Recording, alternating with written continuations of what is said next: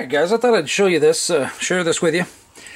Uh, friend of mine by the name of George down in uh, California, his, uh, it's not son-in-law yet, his uh, daughter's boyfriend um, bought a 3D printer. And I don't, offhand, I don't remember the name or anything like that, but uh, anyway, I sent him a CAD file of the bearing adapter, okay, for my disc brake kits. Um, this is a scrap one left over. It's it's it's just for show and tell, basically. Uh, so anyway, this is the support structure underneath here. Okay, it uh,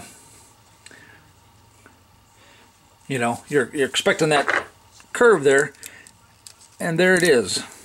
Just got to break away a little of this. Uh, it's a it's a structure that's printed because it was printed flat like this so it has, in order to support that curve, you know, to build that up, they have to lay down a uh, support structure. And that's what this is. So it's just a very, uh, well, let's see here. Get it to... You never know for sure if it's focused accurately until you actually get to go back and watch the video. So I peeled most of it off, but you can see uh, you can get an idea how it was built up there. And I don't know what the specs are, the anything like that on the the uh, printer. But yeah, that curve looks beautiful in there. You know, it's just a matter of taking off some of that. So let's see here. Let's take some 80 grit real quick.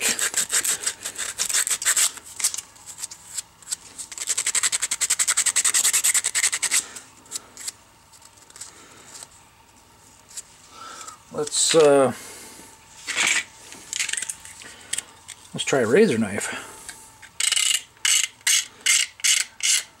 Oh yeah, nice.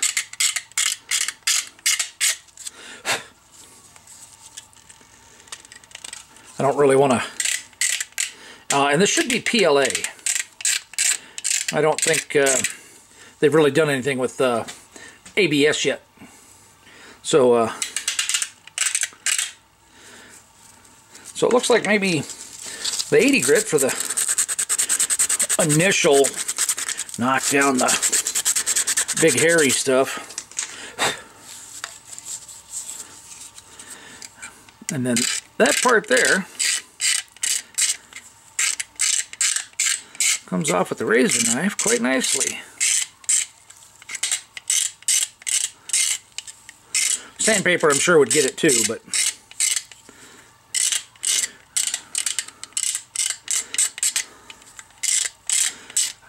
So, part of the, part of the thing is George and I are discussing whether or not this is going to be accurate enough for um, prototyping and stuff like that. So, possibly, possibly not. But what I'm looking at is for display models and stuff like that. Instead of having to carry around a three-pound spindle, I could have the printers uh, have the spindle printed 3D in plastic basically and be able to size everything, sand everything, shape everything, get everything to fit and be able to uh, have a, a, demonstration of the pieces and stuff like that without uh, the uh,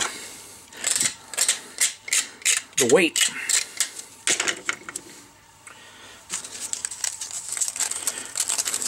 And, and it's actually a lot stronger than I thought it was going to be, so I could just about put it in the lathe and uh, spin it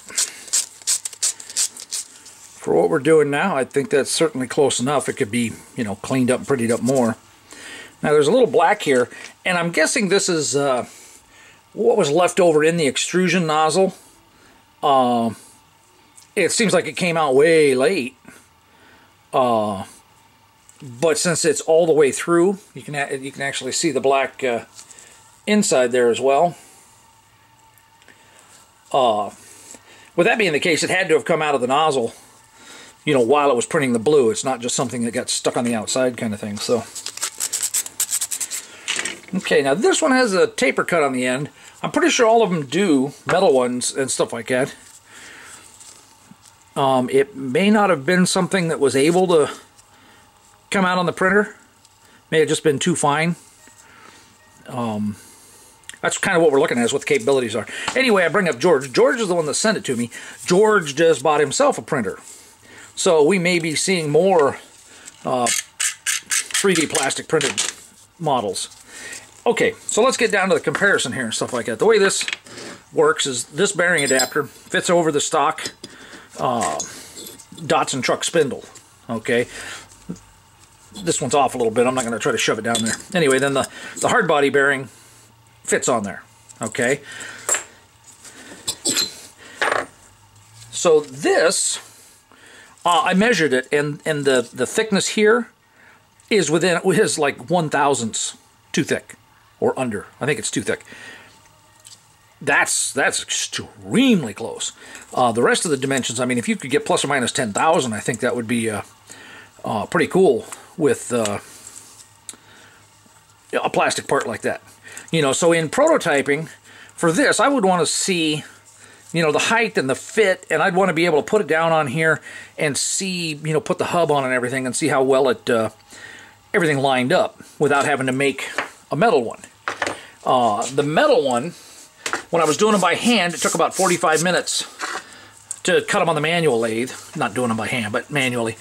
Uh, they take about, to do both sides, it takes a good, you know, I don't know, 15, 20 minutes uh, on the CNC lathe to do them. This piece took 45 minutes. Now for me, somebody else printed it, so it's, uh, it was their time, not mine, so that's just, you know, awesome. But, uh, uh, anyway, it fits here. It's it's a little looser than the metal one would be. Uh, I think it is about 10 thousandths too small. And it's a hair, it's a little too tight here. So the then the thing is, is to see whether or not, you know, a little sanding or whatever will open it up enough. And like I said, push come to shove, I can put it in the lathe and uh, spin it. Now, even on the metal ones, I tend to have a bit of trouble with the transfer here sometimes being too tight. So,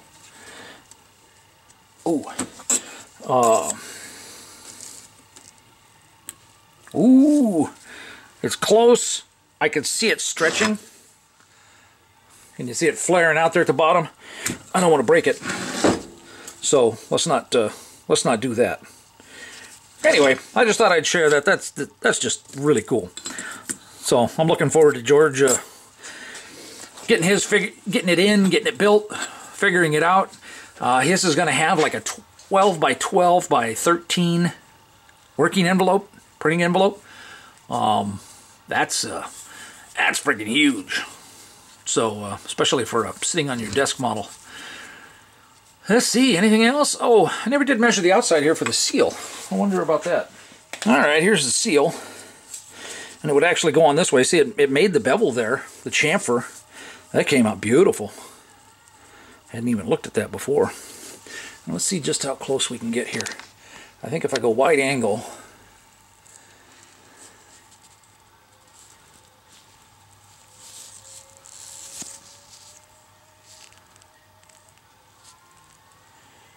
Yeah, there you go. You can see the resolution in the bezel in the uh, chamfer there.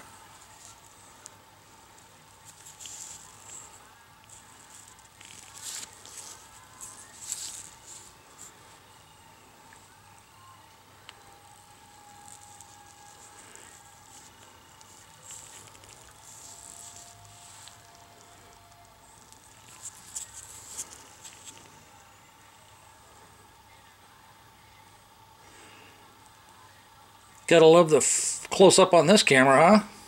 Look at that, you see the shadow from the camera.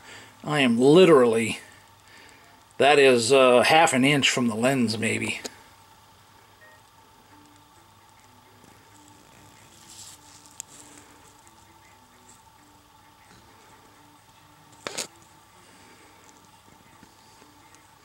I think if we had a bit more light, it would focus right up in there.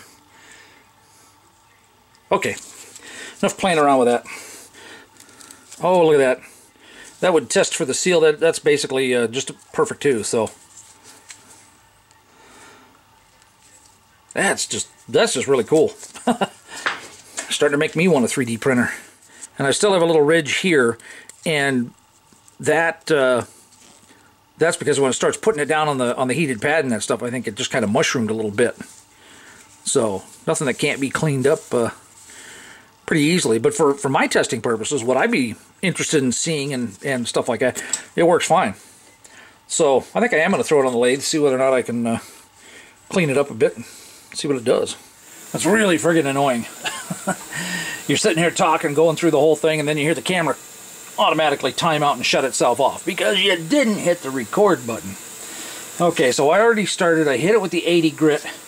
Uh, basically, it, it's on there. It still spins a little bit. I didn't want to open it up and, and break it. Uh, so we're partly seeing how tough it is, if it can handle this. Uh, we're also seeing just how nicely, you know, we can get it cleaned up, stuff like that. So I've already hit it with the 80 and got a uh, good bit of the of the biggest roughness down and most of this little edge that was on the bottom here, that mushrooming.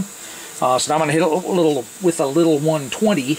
And I think we're running somewhere around 1400 RPMs maybe. Yep. You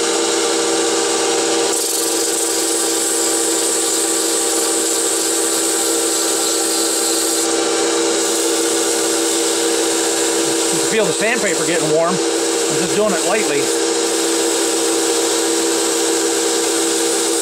Because I don't want to, I just want to clean it up a bit. I don't really want to throw off the dimensions or anything too much.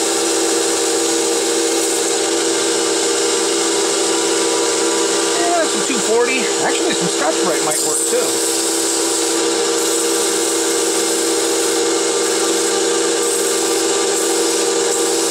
Yeah, I think I was kind of melting the uh,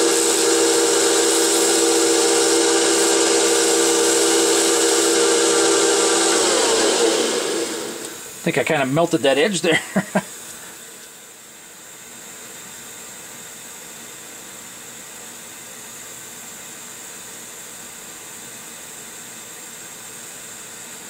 yeah, you can see where I kind of melted the corner there a little bit and got it uh, dirtier, but the the mushrooming on the edge right there is gone.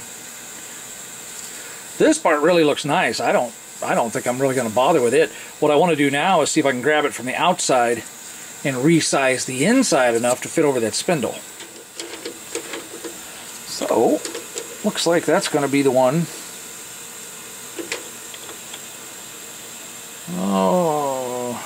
Yeah, it's not going to grab on that one, so let's just do it right here.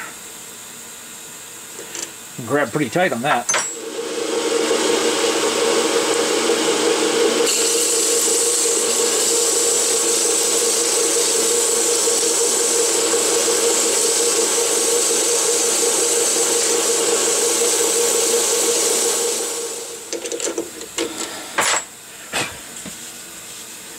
it's got a little warmth to it. Alright, it's definitely closer. And the, the finer grit has more contact surface. Seems to heat it up uh, even faster.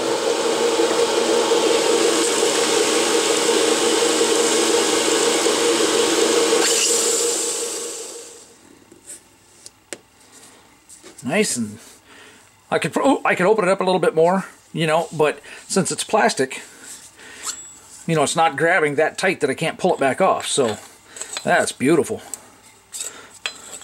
I'm sure it's stretching just a little bit, but uh, look at that.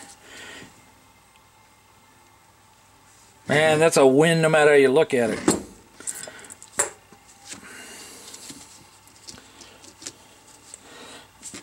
That fits on there perfect. That fits on there perfect.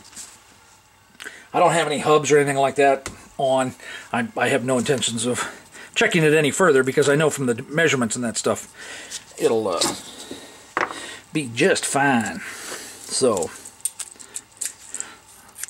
now that, this one this one's hard to compare to. That's got a really nice fit because it's been damaged and I filed it and stuff like that. But that's that's close to the fit that I want there. This one's definitely looser, but